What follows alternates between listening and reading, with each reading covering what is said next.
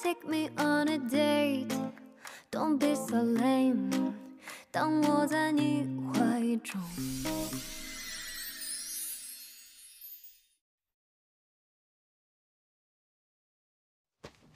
坐下，我跟你讲。你看啊，我的家庭虽然比你的原生家庭好那么一丢丢，但是你看冷暖现在跟着我出来到现在，那就说明我的家庭也出现了问题。而且，你愿意向我袒露你的 B 面，证明你还信任我。那我也告诉你，我也很在意你，我也愿意把自己的 B 面给你，展露给你看。我很关心你的状态，其他的无所谓。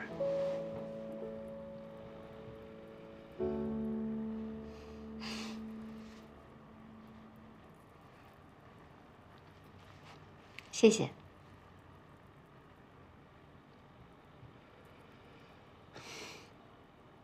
这没什么表示。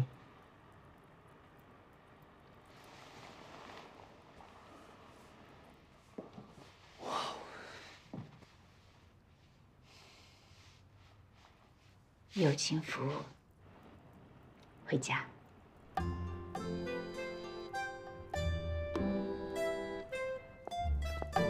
行了行了，到我的地盘了。嗯回去吧，要不然我又把你留下不让你走了。啊啊，对了，你打赌输给我了，还记得吗？知道了知道了，不用反复强调。你输了，我就不能做你女朋友喽？行。不是你这喝完酒也太清醒了，你就不能装一下糊涂吗？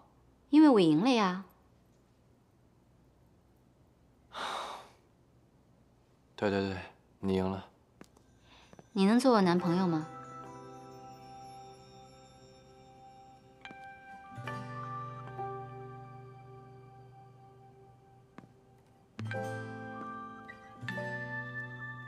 你说什么？别犹豫，就停在这里，这一刻，感知爱来临。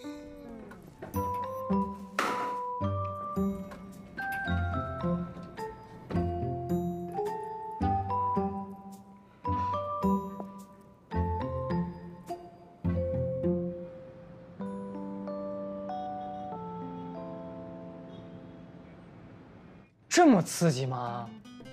别提多刺激了，我看的可是实况，那个场面超级狂热，超级激烈。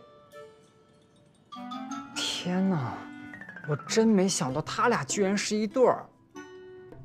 你都不知道，那天他俩为了抢我吵得可凶了。打是亲，骂是爱，你不懂。唉，都怪我，我觉得我昨天就不应该待在家里，不然说不定很快我就可以当真正的姑姑了。你想啥呢？你快点吃，我一会儿还要上课呢。哎你今天带我去参观学校好不好？我想了，既然我决定要去那个学校，就应该好好考察一下，让你当我的导游，不过分吧？过分！我今天一天的课哪有时间陪你玩？那明天？明天也不行。你不知道，我现在的档期排的特别满。单呢，我买完了，你慢慢吃。我先走了啊。哟，你这全副武装的，真把自己当明星了？你以为呢？我可不想被一群人围观，赶不上老师查考勤，再出门也没用。拜拜。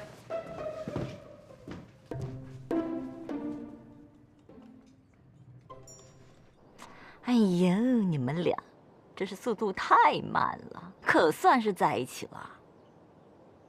看你这架势，好像我起死回生似的。差不多这意思吧。哎，孟好甜小姐，你也不想想啊，之前是谁说什么事业为重啊，不谈恋爱，现在可啪啪打脸了吧？冷总，那好甜呢，可是三年没有谈男朋友了，你这脚下不知道踏着多少战败者的尸体。你是大赢家，今天得多喝两杯。是吗？是啊，你别看郝甜一副女王范儿的样子，好像很会谈恋爱。其实呢，他可清心寡欲，可难追啦。你呢，这是中了头彩。哎，不过我丑话说在前头，你一定要好好的对待我们郝甜，否则我跟你没完。一定会的。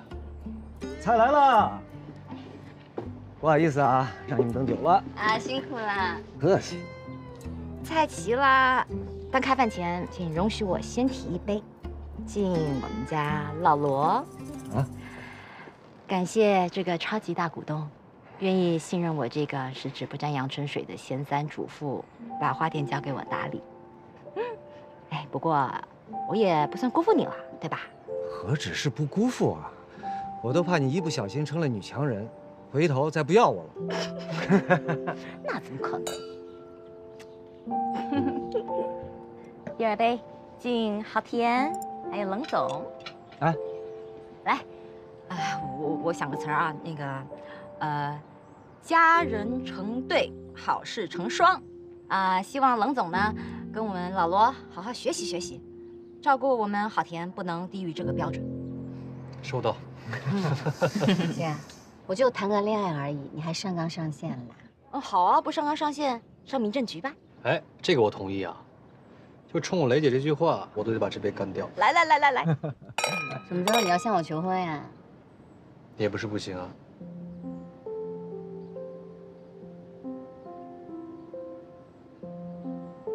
哇！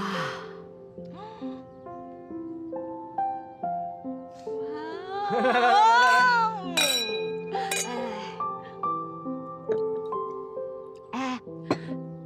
时候啊，记得我要做大总管的，什么牌子的喜糖最好吃啊？还有什么喜帖最好看？我最清楚了。当时我们的婚礼，你记不记得？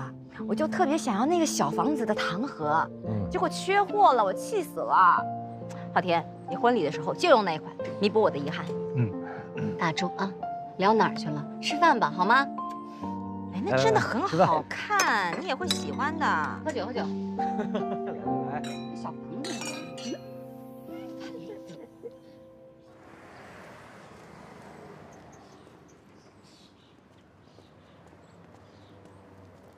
哎哎，这位同学，你的校园卡呢？我我忘带了，我着急上课吧，大叔。哎，不行，你是哪一届，哪一个专业的？我我是交换生。交换生？嗯，请出示身份证和学生证。护照行吗？你不是我们学校的，小姑娘怎么张嘴就撒谎啊？我们学校不对外开放，请你离开。总有一天我会考上的。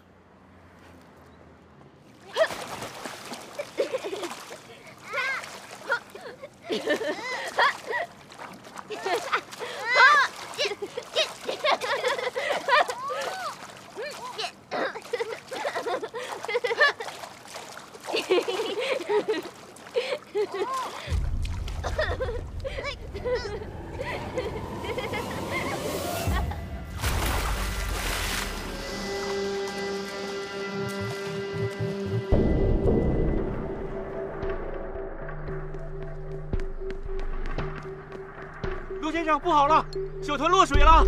啊！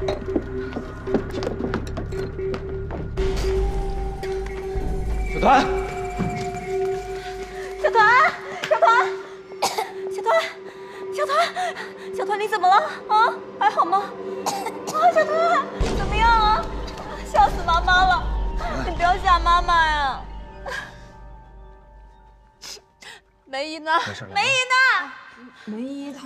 她说她去给小团买饮料了。是你救了我们家小团吗？应该的，我们都是邻居。不过，小团，你真的下次不要在水边这么玩了，太危险了。知道了，白老师。你你就是白老师啊？啊，我其实之前见过您，您可能不记得我了。不过现在眼下最重要的是看看小团需不需要去医院。好，谢谢你救了我儿子啊！我我先回家，衣服都湿了。白老师，谢谢你救了我儿子。好点吗？真是吓死妈妈了！你到底是怎么做事的？小孩子这么小，你怎么能把他一个人留在那里？这样以后我怎么放心你的孩子出去？对不起，太太，小团说口渴，我就出去给他买饮料了。我真的没想到会发生这样的意外。小孩子顽皮没有办法，但你得盯着他，你眼珠子都不能离开他的。要是真的出了什么事儿，你担得起吗？哎呀呀，好了好了，啊，梅姨也知道错了啊。是的，太太，我以后一定好好照顾小团，再也不会发生这样的事情了。先让他去上楼照顾孩子吧。昊天毕竟是客人，总不能让人家看孩子吧？啊！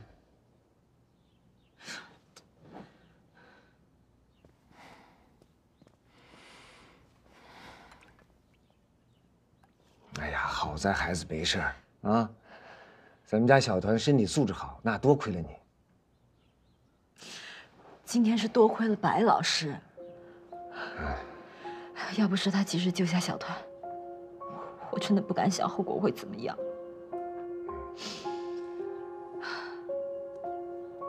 哎，老公，嗯，咱就请白老师一起来吃饭吧，好好答谢一下人家。今天啊，啊，哎呀，改天吧。今天发生这么大的事儿，你突然把他请过来不好吧？哎呀，这有什么不好的？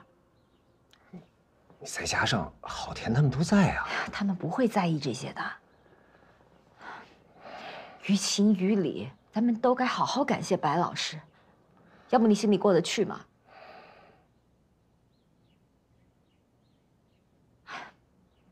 你不请我请。哎，行行，我想办法，啊，嗯，要不这样，我去物业，让他们带我去请白老师。行，但他能不能来，那我就不敢说了。你必须把他请来。我去看一下小团，我看孩子去。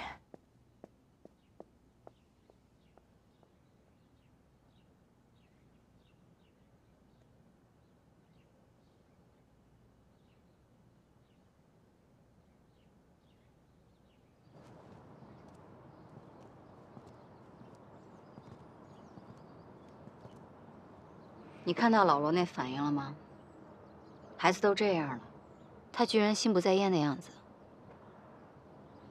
有可能老罗只是吓到了，有时候男人更脆弱的。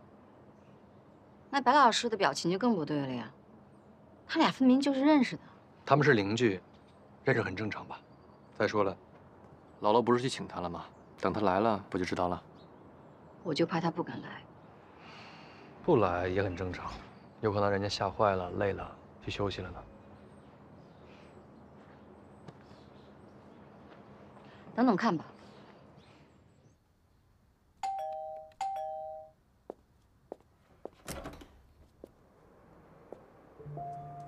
你来做什么？我来看看你在做什么。你还怕我做什么吗？你还想做什么？我知道你想听到什么但今天这一切只是个意外。我也希望小船这个事儿也是个意外。如果这不是一场意外呢？你什么意思啊？你现在是以什么立场什么身份来责问我？如果不是今天这场意外，我是不是永远都要蒙在鼓里啊？那无论如何，你不应该伤害小团啊！我没有伤害小团啊，我也是个母亲，不然我为什么会去救他呢？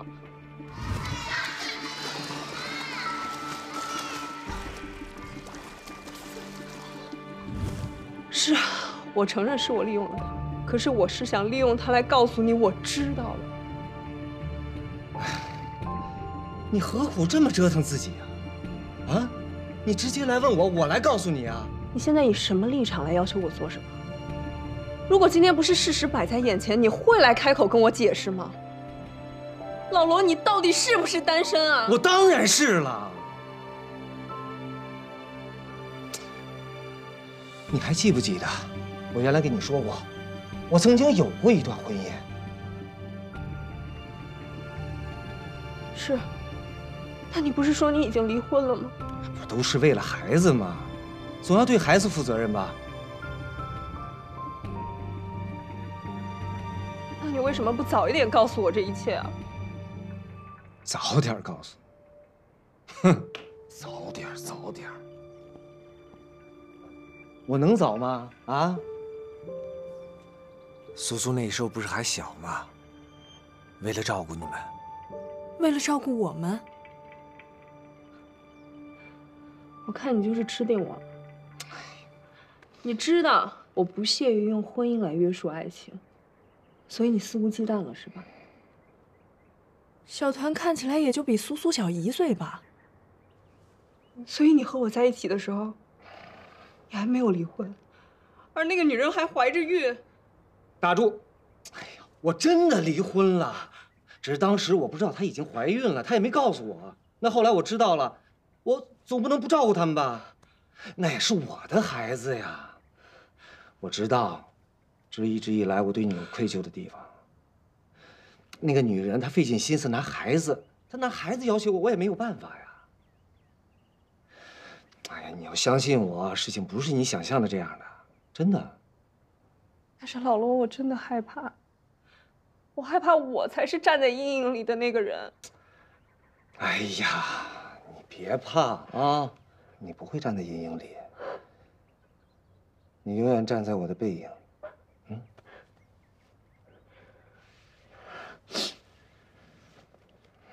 你也知道我白星这个人是有底线的。我虽然不屑于用婚姻来约束爱情，但是我绝对不会去做破坏别人家庭的事情。我再给你说一遍，我那时候离婚了，我是单身，所以你不是破坏家庭。我们是自由恋爱。你那个时候离婚了是吧？一个人带着苏苏多不容易啊！我不也是为了你们孤儿寡母吗？苏苏也需要爸爸呀！你少拿苏苏说事儿。我对苏苏怎么样？是不是跟亲闺女一样？苏苏是我的孩子，小团也是我的孩子。今天这事儿啊，其实挺危险的。真的，你知道那池子有多深吗？啊，你万一他不会游泳啊？他我知道了，对不起，我保证以后都不会这样做了。不过你也要答应我，如果我发现今天你说的一切都是假的，都是骗我的，我不会让你好过的。我会用事实来证明的，好吗？我发誓。哎呀，今天他让我来，请你过去吃饭，没别的意思，他就是想感谢你。你不是救了小团吗？你你想不想去？你自己决定，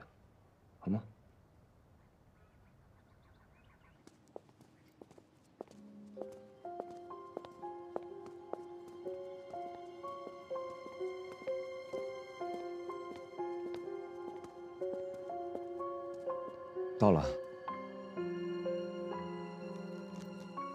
真是没想到啊！第一次正式见面，居然会是这样。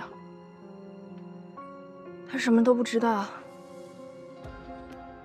可是我已经知道。这位呢就是白老师，我儿子的救命恩人。别这么说，太客气了，都是我应该做的。谢谢。啊，这位是我的好闺蜜孟浩田，她男朋友冷总，还有我的爱人老罗。你们好，其实我之前和罗先生是见过的，只是没想到今天救的孩子，刚好就是罗先生的孩子。是吗？你们在哪儿见过的？你忘了，绘画教室。哦，是我上次让你去考察绘画班的时候吧？嗯，真巧。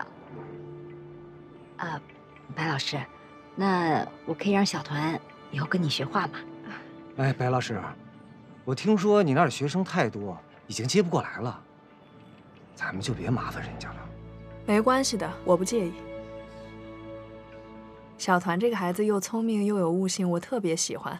再说罗太太一个人带孩子太辛苦了，把孩子放我那儿，孩子又多又热闹，我累点无所谓的。白老师，那真是太谢谢你了，我敬你一杯啊。白老师怎么知道蕾蕾一个人带孩子呀？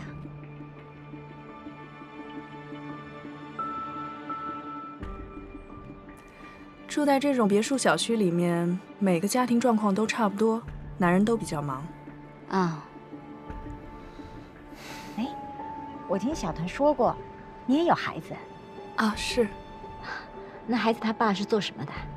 蕾蕾，人家白老师第一次来，你这连珠炮的问，不太好。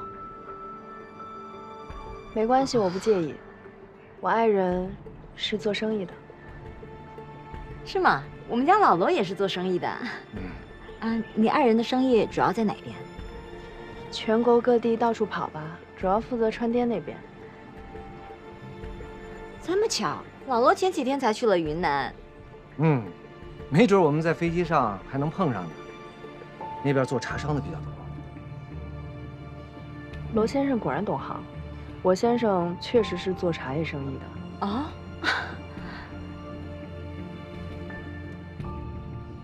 既然大家相识就是缘分，提一杯吧。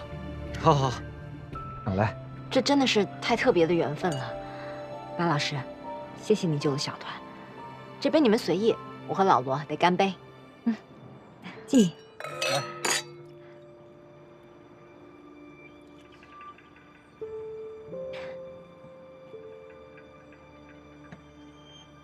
刚才为什么拦着我不让我说话呀？不确定的事情啊。就要想清楚再说。我跟江磊磊什么关系？你还不清楚？关系越好，越要想清楚再说呀。可是万一一旦有事儿，你看江磊磊那神经大条的样子，我要不说，他会一直蒙在鼓里。事缓则圆嘛，毕竟他没有小团，白老师也有自己的孩子，这是两个家庭的事情，万一有误会，那影响多不好。你说的有道理。而且，江蕾蕾也许也知道呢。也许只是猜测，也许只是巧合，我们都想多了。你看，也许是老罗视察绘画班的时候，跟白老师闲聊了几句自己常出差，而且恰巧白老师的丈夫也在云南出差。那你的意思是说，我们现在什么都不做？至少现在是没什么必要。那什么时候有必要？白老师的丈夫一定会出现，对吗？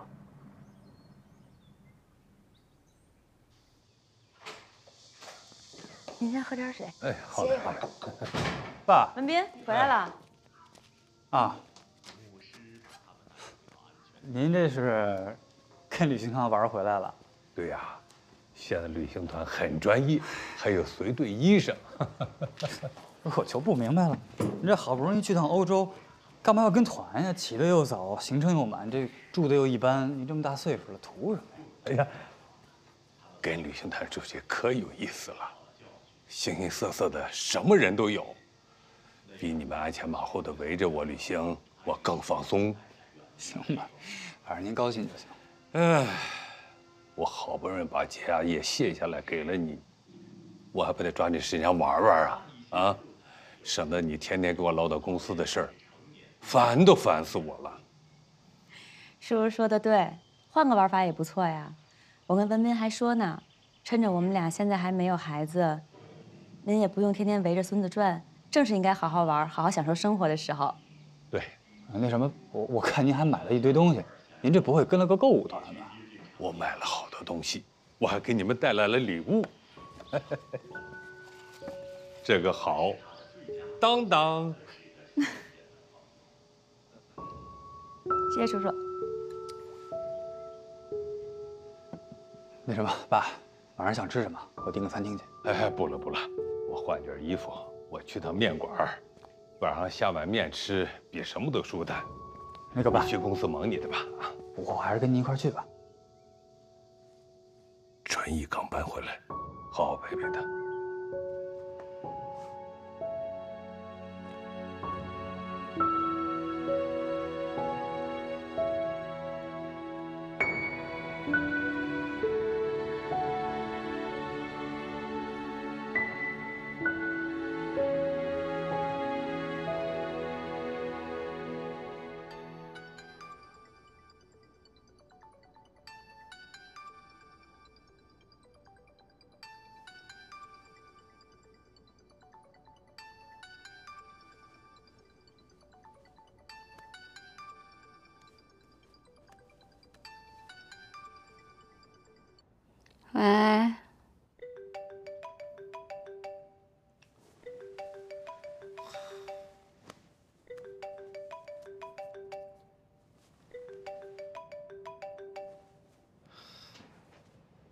哎，大哥，今天是周末，不上班呐。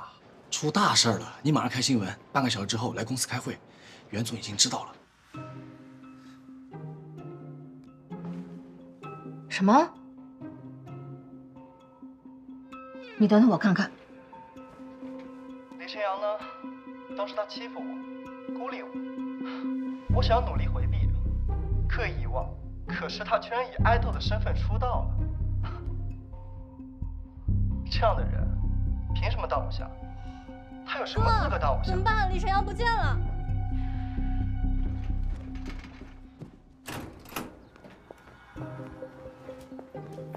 一起走啊！我先去趟公司。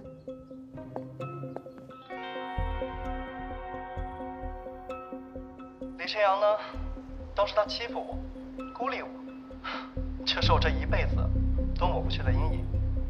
我想努力回避，刻意遗忘，可是他居然以爱豆的身份出道了。这样的人，田姐，凭什么当偶像？找到了，就是他。什么资格当偶像？他叫春露，是一个短视频博主，有过那么一两个点赞过万的视频，之后就没什么反响了。这种并不难。可以借此反击，就打这个人是为了蹭热度、故意捏造的。那如果这样的话，这个问题就没有一个准确的定性。不需要定性，现在很多事情都是没有办法证实的。网络上三天两头的上演骂战，今天你一个实锤，明天他一个实锤，不照样舆论两边倒吗？只要还有争议，就没有谁敢站出来拍板说对与错。我觉得田姐说的对。真正相信你的人，你不用解释，他们也相信；不相信你的人，你说出大天来也没用。我也觉得，只要能给个立得住的点就行。现在的当务之急是要抑制一部分的舆论，因为我们谁都不知道真相，贸然否认也是不负责任的。最重要的还是要找到李晨阳。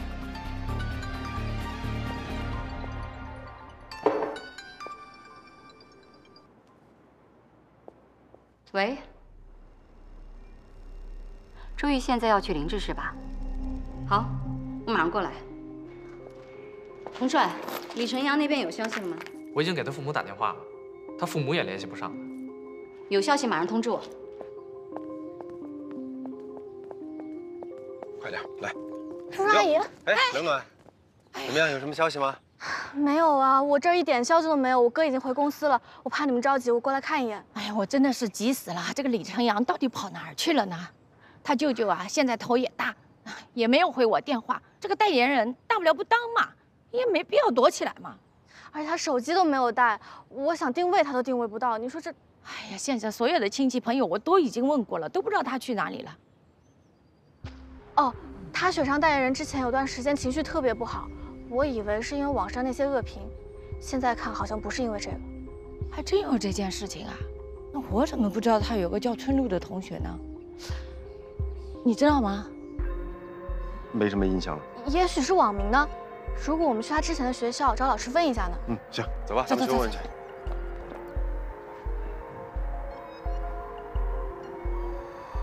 我觉得如果实在没有办法，那咱们现在可能只能……现在绝对不能换人。但是咱们现在的投诉电话已经打爆了，不光是董事会那边，舆论、大众，咱们得给所有人一个交代啊。是。但是事已至此，不是换一人能够解决掉的。我也不想换啊，我比你们所有人都不想换掉陈阳。但是现在你得告诉我，咱们到底能怎么办？袁总，无星传媒的周总到了。袁总，哎呀，周总，我是真没想到这事儿现在变得这么麻烦。你先别着急，我来就是解决问题的。首先，凌志集团需要跟代言人做一个切割，然后咱们推一个新的代言人出来，全力推广预热。等热度起来了，大家的注意力就会被转移。那陈阳这一块呢，我们再想办法帮他洗白，可以吗？如果我没有猜错的话，周总早就找好新人了吧？孟总，我说的方法可不可行？你心里很清楚。既然大家今天都到齐了，那这个事儿，咱们无论如何得讨论出来一个定律吧。袁总，真相还没有弄明白，怎么下定论呢？如果这个事情是被污蔑的，那我一定会还李晨阳一个清白。但如果这个事情是真的，我也会让李晨阳站出来公开道歉。孟总，洗白是需要时间的，在这个过程中，林志的声誉怎么办呢？如果因为一个李晨阳就能影响到林志的声誉，那么公司出现的问题，不仅仅是因为李晨阳这一个人而已。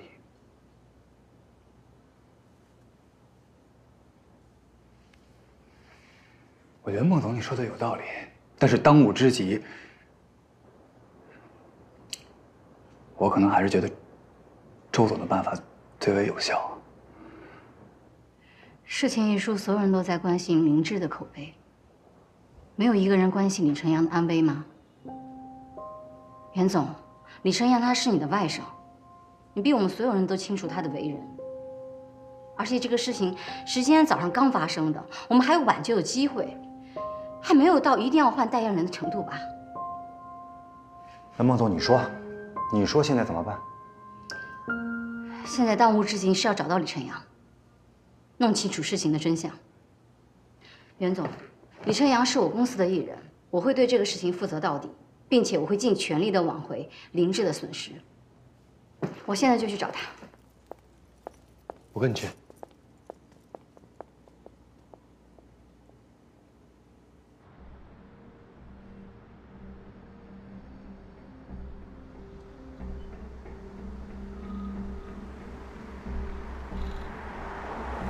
学校、餐厅、游戏厅、网吧，我们都找了，没去的也打电话确认了。你觉得还有可能在哪？我再给龙文打个电话。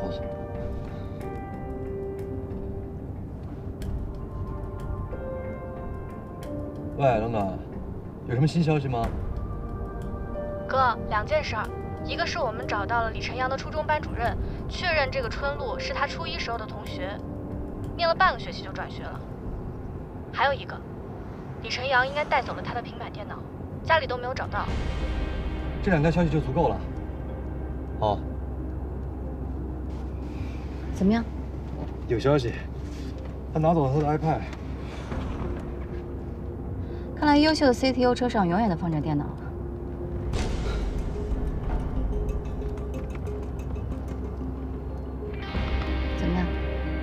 并没到汤。找到了。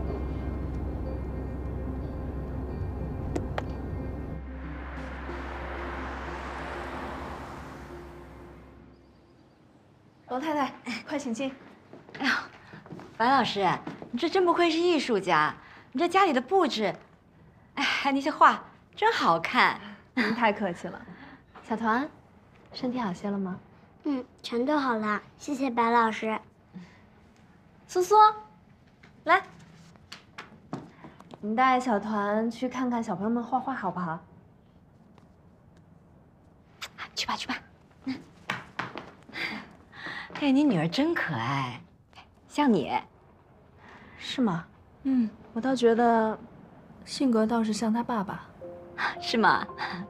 来，请坐。我给你备了些礼物，啊，也不知道你喜欢什么，就自作主张备了一些保健品、营养品，都是养颜美容的。您太客气了，坐。你啊，可是我们小团的救命恩人，这些都是应该的，别跟我客气。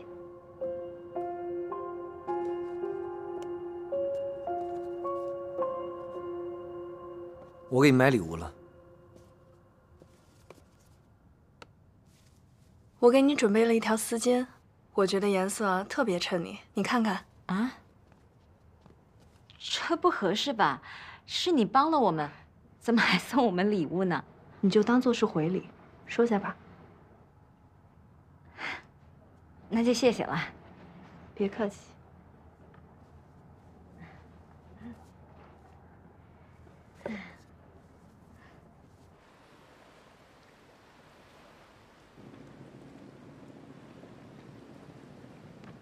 李晨阳，给我站住！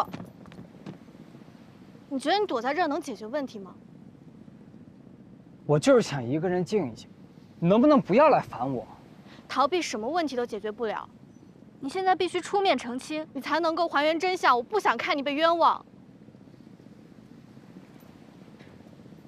你怎么知道我是被冤枉的？就凭你啊！你每天被我欺负个半死，你像是那种会霸凌别人的人吗？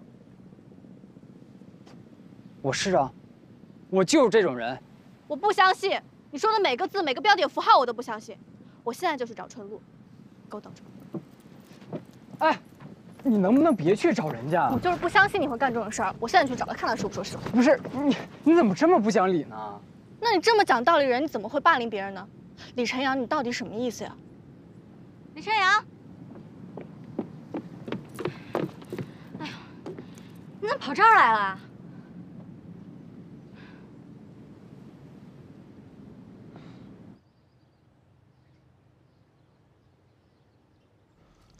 老公，好不好看？漂亮。又去逛街了？哎，不是。艾明姨，把我公包拿来。哦，好的。这个啊，是我去白老师家送谢礼的时候，他回赠给我的。说是一个小众的艺术家品牌。哎，还别说，白老师呢人真好，人善良又有品味。我还挺好奇他的爱人是什么样的。跟人家客气客气就行了，这种事儿，你可千万别瞎打听。怎么呢？我还想跟他拉近关系，让他好好栽培我们家小团呢。自从他搬过来。你们谁见过他爱人啊？说是忙，那可能是托辞，说不定人家有什么难言之隐啊。嗯，说多了人家忌讳，你上赶着关心，如果人家烦了，那小团还怎么去上课？说的也是啊。嗯，他们家还真的不像有男人的样子。这再忙也得回家呀。是啊，嗯，这一点儿。你老公就不错吧？那当然了。这小团啊，最开心的时间就是每周末的家庭日了。你放心，我答应你们的，肯定会做到。财务啊，让我把文件拿回来，你赶快签了吧。这么多份嗯，就三份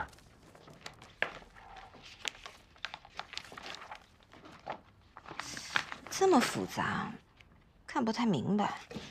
都看了，你就在最后一页签就行。来，老公，嗯，你说我除了花店的事，是不是应该再去进修个什么商业课程？再怎么说，我也是法人呢。你事儿够多的了，还要照顾小团，我还心疼你。嗯，赶快签吧，我还得赶时间呢。好，好，好。哎。就我老公心疼我。哎，我不心疼你，谁心疼你？陈阳，我们大家真的非常担心你。无论以前发生什么了，我们现在都要想办法解决问题。你能不能告诉我们，当年到底发生什么了？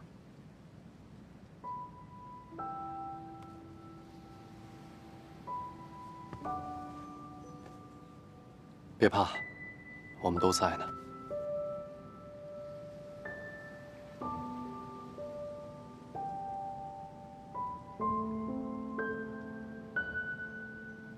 我初中刚入学的时候，学校里有一群人总喜欢聚集在一起，欺负那些他们觉得好欺负的人，讹钱、打人，还聚众孤立别人。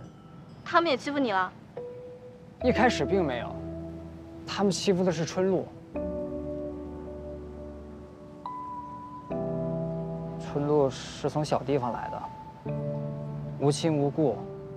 平时也不爱说话，他们就盯上他了。我实在是看不下去，就帮着打抱不平来着。那春露为什么说是你在霸凌他呢？我也是被逼的。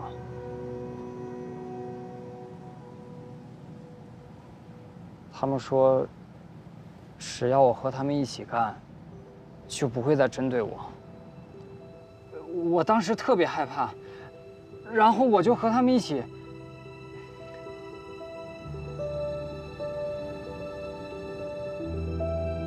陈阳，你跟我们说句实话，你到底有没有加入他们欺负过春露？我没有。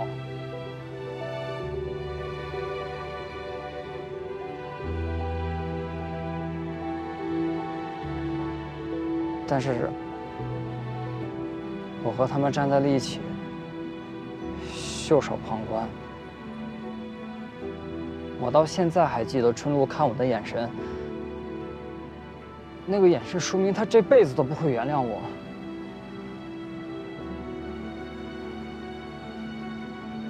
那你有跟他道过歉吗？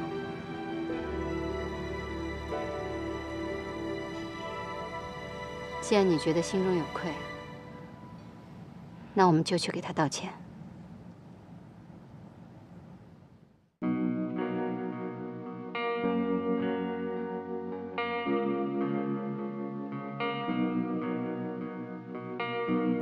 说服我吧，另一个答案。冷酷本来就是这个世界的常态，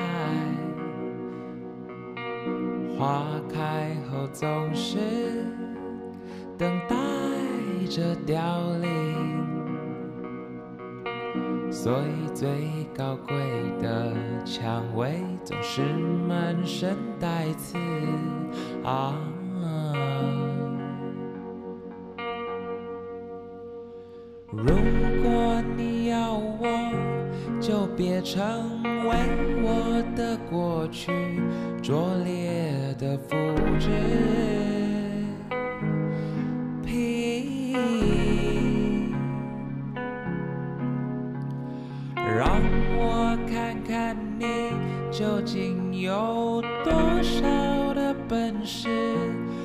看透山茶花瓣里面没有被理解的甜蜜和虚？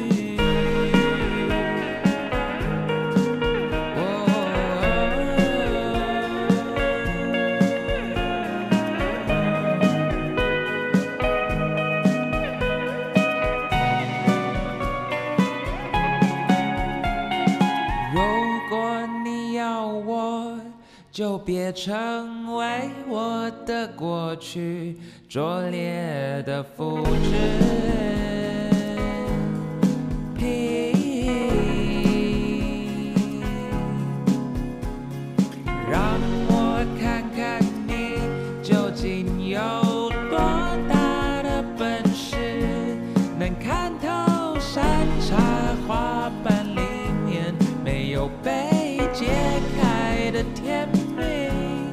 是